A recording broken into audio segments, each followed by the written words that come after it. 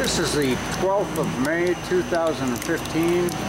We're at Vincent Corporation in Tampa, Florida. Uh, that's a KP6 press.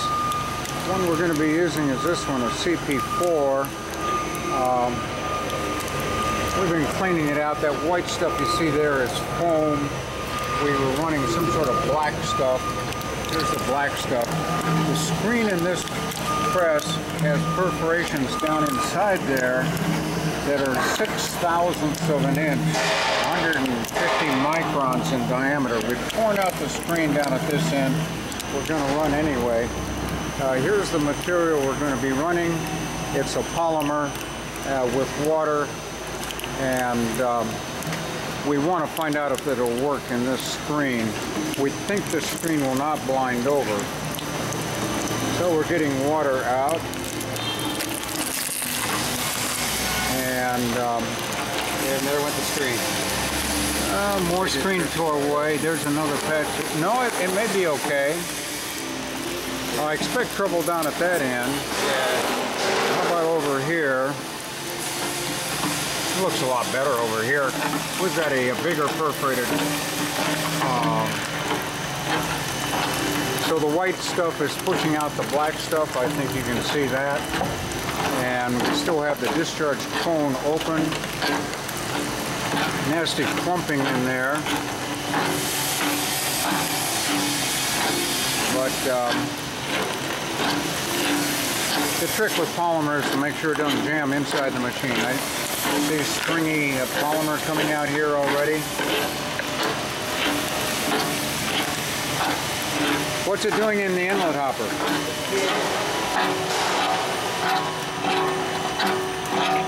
Okay, it's feeding fair.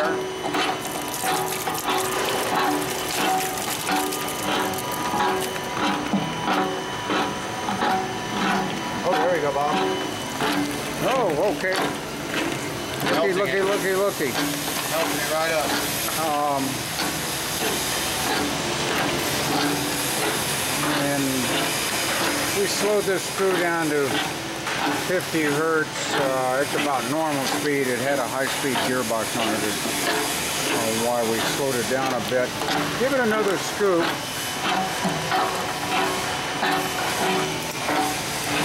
Now, this is real time. We're still getting some black goop out here, but we can see the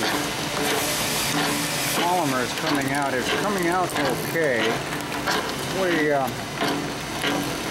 hmm. Here you can see the 6,000 perforated screen down in there, barely. Those are tiny holes, but what I'm seeing here is the screen is not blinding, the rubber's not, uh, not coating over the screen. So uh, for a fine filtration, we're probably in good shape. Uh, pull that bucket. There another big chunk of screen. Okay, ripping the screen out.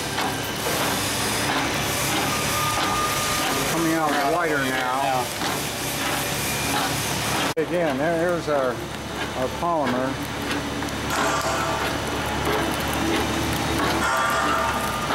I don't know if that's what anybody wants to, of course it would, it would be clean. The concern is, So wet. Are we doing what needs to be done to this material?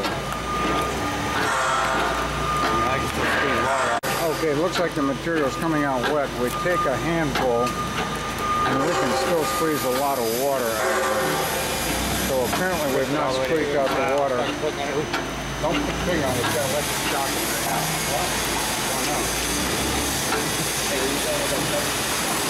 Stuff is very strong and when I do this and get a fistful of it, I can still squeeze a stream of water out of it. Okay, here's our three. Lift up that big clump that I had standing up there. There you can see where it, it had clumped together somewhat. And um, go over here in this pail, we've just opened these three pails. Okay, this is more like the first one that I found, found yesterday. And this is what we've got in here. Now I'm going to break all of this up uh, like the first pail that we just ran. Okay. There's a clump of it, and if you squeeze it, it's got a lot of water in it that we can squeeze out. And so we're going to try and get a screw press to do that. Uh, we thought all these samples were going to be the same, but anyway, two buckets came in, very crumbly material. And then uh, two buckets came in. The first one we ran in the CP4 with a fine perf. And then one more bucket that is it's stuck together. Uh, I don't know if there's supposed to be a difference or not. Okay, this is next press we're going to run. It's got a, a more robust screen. Uh, that ought to work. Um, grab this one even though it's a 6-inch press because it has a rotating cone feature. You'll see this discharge door will turn. We just put a longer bolt right here. Uh, this will act as a stripper to strip the material away. There's a spin stop down here um, that stops it from spinning, and this rips it away. We'll see how that works. Okay, there we turn the press on, and you can see how this cone rotates. 60 hertz, 5 horse motor.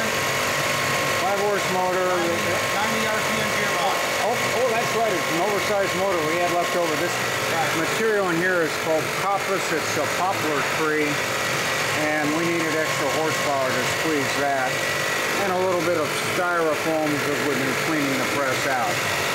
So, um, yep, that's what we're going to be running. Now, plenty of horsepower. That's good on this material because it's have to uh, lock up, jam up, gum up. We, uh, yeah, we can't really expect this to work. Okay, we're feeding in material, going into the inlet hopper. Good dewatering. Let's see if it stays this way. Material is pushing out. Nothing comes out of this press unless something's going in to push it out. Wow, we've got the uh, polymer all ready. Full length screen dewatering. Just ran in the cone there. We'll see uh, what happens.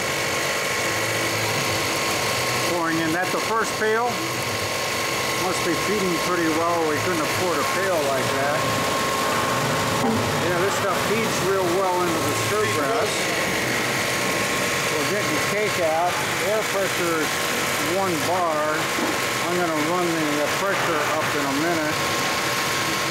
Um, this is what's coming out. Yeah, go ahead.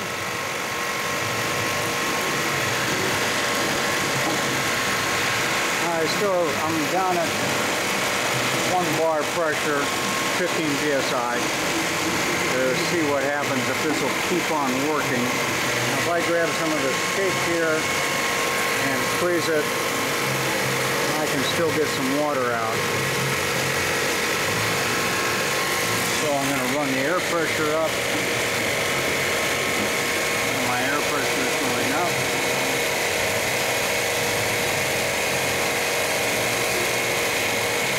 That don't look good.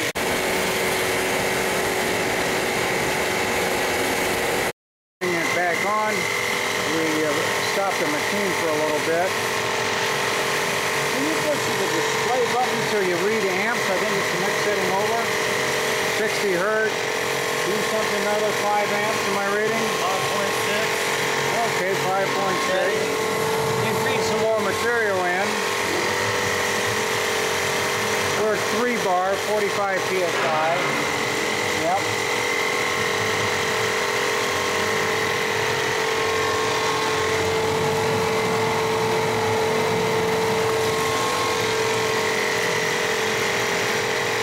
So we stopped it for a while, messing with the air compressor, starting up again.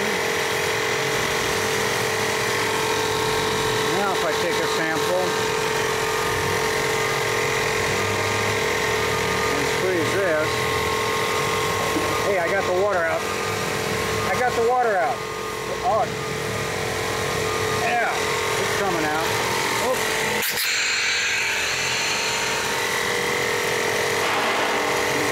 Something last minute, Bob. Yep, feed the last in.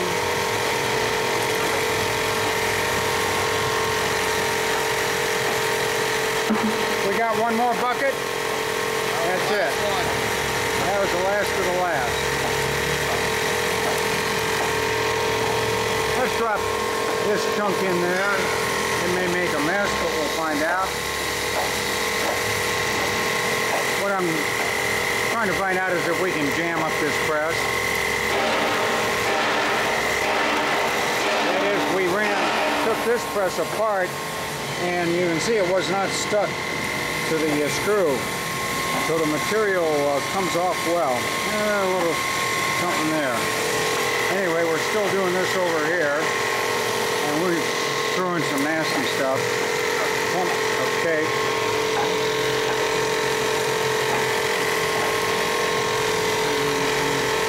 I'll get one more clump here.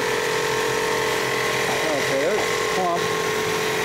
And, oops, I can still squeeze water out of this one. I'm not sure if this will work or not.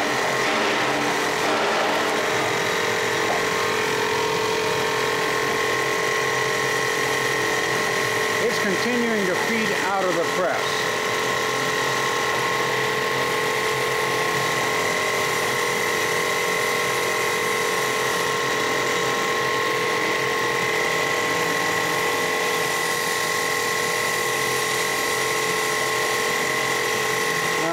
I'm surprised we haven't up the press.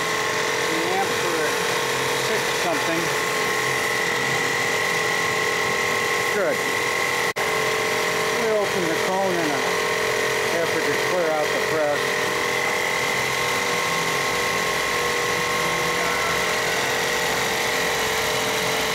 All right, Bob. Stuff is coming through now. Yeah. No water. Oh, you can still squeeze water out. A lot warmer. and we're heating it up, yep. Uh-huh, I see some.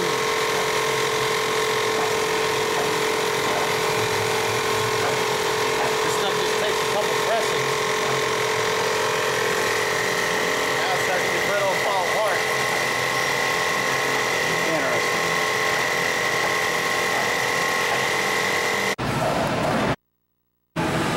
Okay, here's where we were testing. Another twin screw press we were testing recently. We have got presses all over the place. Um, this is the uh, test area. Of course, we you're looking at you know a couple dozen screw presses here and shredders. Uh, this is shipping, receiving. Rental presses come back. We're looking over at the screw department. These are the flights of steel that we buy to um, uh, build screws. And uh, so we make lots and lots of screws. And with this many screws, surprisingly still have one, two, there's three guys making more screws. I think there's another one back there.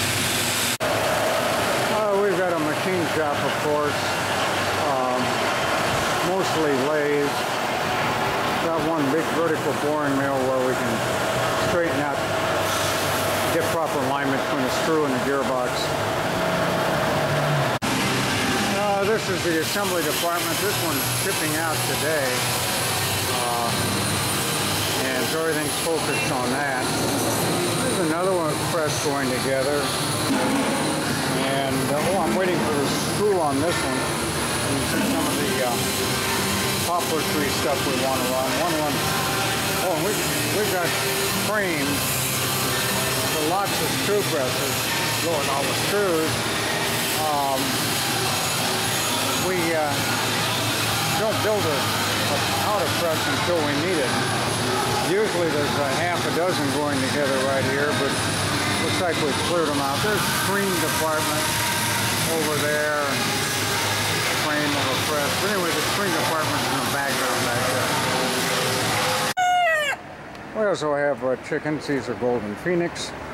And our hen just had a brood of 10 chicks day before Mother's Day. So uh, these are our pets here at Vincent.